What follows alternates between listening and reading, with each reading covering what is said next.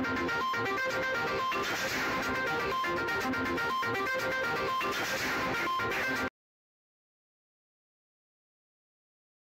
Pensions వెబ్సైట్స్ను update చేయాలి.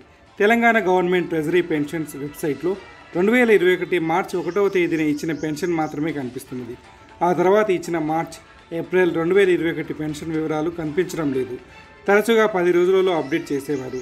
కానీ ఇప్పుడు అసలు అప్డేట్ చేయడం లేదు. తక్షణమే ఆ వెబ్సైట్ను క్రమబద్ధీకరించాలని పై అధికారులను పెన్షనర్లు కోరుతున్నారు.